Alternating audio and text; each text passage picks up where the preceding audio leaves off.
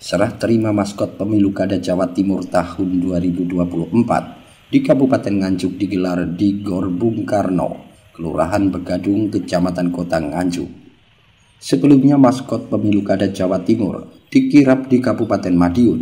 Kabupaten Nganjuk adalah kabupaten ketujuh dan nanti akan diteruskan ke kabupaten lain. Di Kabupaten Nganjuk, penerimaan maskot diiringi drum band, seni jaranan, dan seni pecut samandiman untuk menyemarakan suasana. Maskot diterima Ketua KPUD Nganjuk ditandai dengan penanda tanganan berita acara serah terima. Eka Wisnuwardana, Divisi Teknis KPUD Provinsi Jawa Timur mengatakan, kirap maskot pemilu kada ini bertujuan untuk memberikan edukasi kepada masyarakat untuk datang ke TPS menggunakan hak pilihnya dalam memilih pemimpin daerah.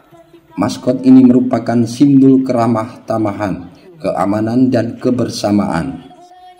Satu rangkaian acara teristimewa yakni serah terima kira maskot Pilkada Serentak tahun 2024. Nganjuk menerima eh, kirap maskot dari Kabupaten Madiun yang kemudian setelah diterima akan dikirapkan di masing-masing kecamatan di Kabupaten Nganjuk yang nanti di tanggal 21 akan diantarkan ke kota Kediri.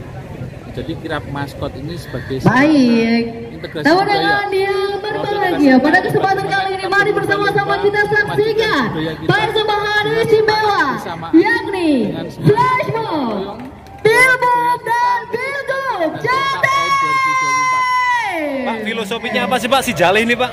Si Jaleh Jatim memilih. Jadi Ya. ada merak, merak hijau itu merupakan simbol khas dari Jawa Timur bahwa merak itu merupakan eh, semacam binatang asli Jawa Timur yang menjadi kerabat kita.